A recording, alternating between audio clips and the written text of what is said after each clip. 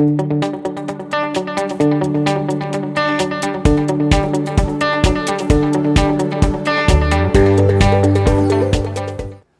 my name is Adam Eckerle. I'm a Senior Technical Marketing Architect with VMware and the Cloud Platform Business Unit. Today we're going to talk about vCenter High Availability. A couple of things to know before we get started. First, vCenter HA is comprised of three nodes, an active, a passive, and a witness. Another common question is, what licensing is involved? Well, we just require a single vCenter server instance license that will cover all three nodes. Another common question is, do we support a tiny deployment, which is the smallest uh, size that you can select when you're deploying a vCenter server? And the answer is we do not support that with vCenter HA because of the resources that are involved. Tiny is usually used for lab environments uh, and very small robo instances. So we recommend or require at least a small or higher deployment. We also support embedded PSC and external PSC with vCenter HA. And last, does vCenter high availability equal DR? Definitely not. Uh, we'll get into some of the details of that uh, and the ramifications and the decisions that, that you need to make when enabling VCHA. Uh, but vCenter high availability is just an HA solution. We want to protect vCenter and make it highly resilient within a site, generally speaking. So the first thing that we need to do from an architecture perspective is take these clones, right? We have an active and we clone that over to a passive node. And we also clone a third or a second time to a witness node. One thing that we do before we actually initiate the clones is we add a second Ethernet adapter. And this is, is, course of, is of course cloned to the witness and passive node. We also have our primary Ethernet adapter, or Ethernet 0, which is made up of, uh, we'll call it the management interface. And it's comprised of an FQDN, an IP, and a MAC address.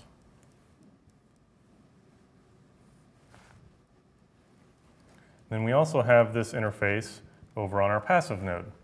I'm drawing it in a dashed line because it is administratively offline, right? If this interface shares both the IP and MAC address, then we'll have some network conflicts if both of these interfaces are online at the same time. So on the passive node, this Ethernet 0 or the management interface is always offline. Only when the passive node becomes the active node does uh, it become online and take over the IP and MAC address. And we'll talk a little bit more about that in detail in a moment. So these Ethernet 1 interfaces form a private network we call the VCHA network.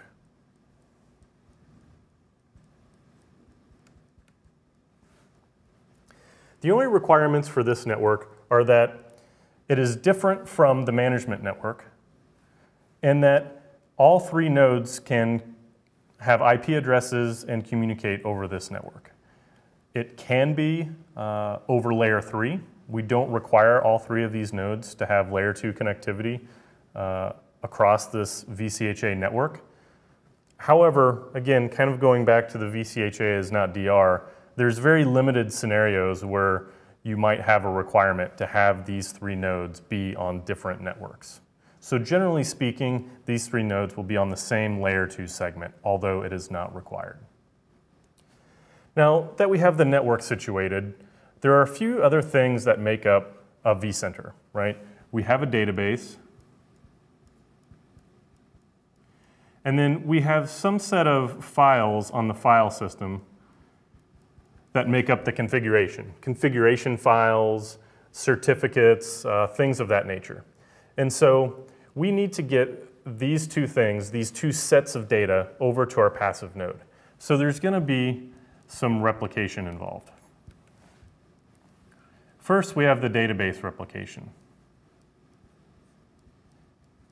This is a synchronous replication operation. We're just using the native PostgreSQL uh, uh, replication mechanisms to get the data from point A to point B, or from the active node to the passive node. The other is a file-based uh, asynchronous mechanism that actually uses a very mature Linux-based uh, synchronization mechanism called rsync. rsync is an on-demand uh, replication mechanism that we're using, uh, and the files that we're replicating are generally pretty small. So usually, even though it's asynchronous, it takes just a matter of seconds to replicate a change from active to passive node uh, when that change occurs. So now that we've kind of dove into the architecture of vCenter HA, let's take a look at what happens when we have a failure. So let's say that our active node uh, has some sort of failure. Maybe the host failed on it, or maybe there's uh, a network failure or some sort. Uh, and so this guy goes away. So now what we're going to do is we're going to bring this interface online. We're going to do a gratuitous ARP to notify the network that now this passive node, or now, as it were, the new active node, has taken ownership of the FQDN IP and MAC address. Right? So now this interface is effectively down. And the other thing is that replication is now paused, if you will. Right? We have a one-way replication now that the active uh, node is down and the passive node has become the active. Uh, replication, uh, vCenter is online, but replication is now paused. So now we have a couple of choices. One, we can trouble, go ahead and troubleshoot the failed active node. Uh, and if we can successfully troubleshoot it and bring it back online, then the passive node, as soon as it detects, or the active node, as soon as it detects the passive node online, it will reestablish those replication mechanisms. So now we'll do our synchronous database replication this way and our asynchronous file-based replication that way as well.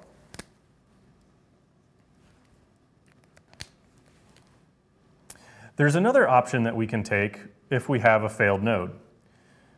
When vCenter is back online after the failover, if, for instance, we're unable to successfully troubleshoot the problem, we can go into the vCenter HA configuration and choose to redeploy the node. So this can happen completely non-disruptively if our, if our old active node or original vCenter node is completely just blown away, uh, we can remove it from inventory and then go into the UI and select to redeploy this node and it will come up, uh, perform an initial synchronization of the database and the file system, and then it will become the new passive node. Uh, and again, this is all non-disruptive. There's a couple other failure conditions to really talk about. One is, what if we lose the witness? Now the witness doesn't sit in the data path. Uh, it is just used for quorum services. So if we lose the witness, it's going to be non-disruptive to the vCenter server instance, but now the cluster is running in a degraded state. So all three nodes need to be online and functioning for the cluster to be healthy. If we lose one of the nodes, whether it's a passive node or a witness node, that cluster goes into a degraded state. When the cluster is in that degraded state, we're not able to perform an automatic failover from active to passive. This is a normal mechanism uh, that many cluster uh, solutions use uh, and is really to prevent uh, two actives to come online uh, at the same time. So we talked about this, these two network interfaces and what would happen if they would come online at the same time. That's what we're trying to prevent. So if there's network isolation in the VCHA network, preventing these nodes from talking to each other, vCenter will actually shut down vCenter services to protect itself. Uh, and again, that only occurs when we have two or more nodes that have failed.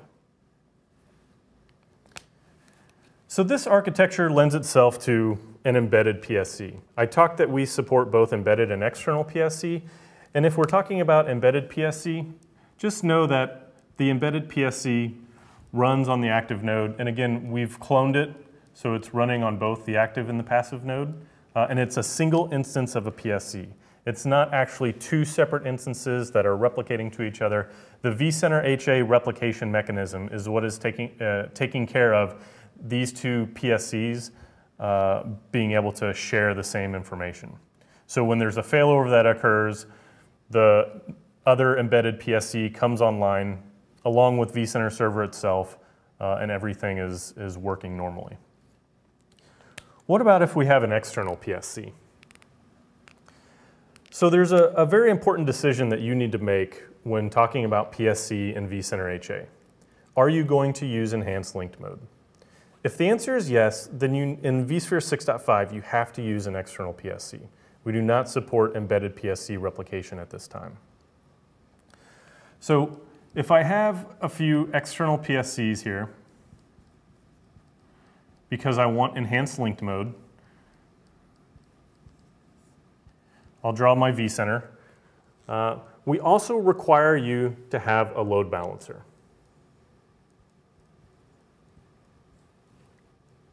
The reason for this is, if I have my highly available PSC or vCenter configuration here, where I have an active, a passive, and a witness, this vCenter is, could potentially be pointed to a specific PSC.